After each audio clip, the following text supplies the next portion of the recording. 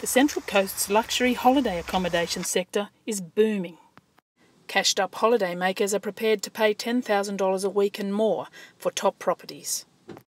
For prices like these, it's opulence all the way. Fantastic views and attention to detail are all part of the deal. G'day, I'm Brett Hunter from Raine and Horne in Terrigal and Avoca Beach and welcome to 12 Scenic Highway in Terrigal, one of our exclusive and most luxurious properties that we have available for holiday rental.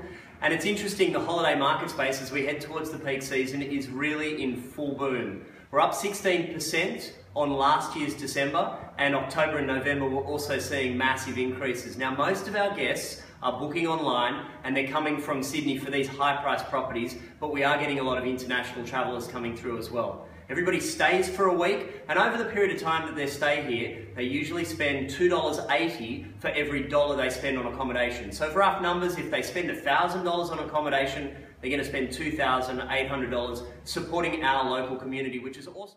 And there's plenty to choose from.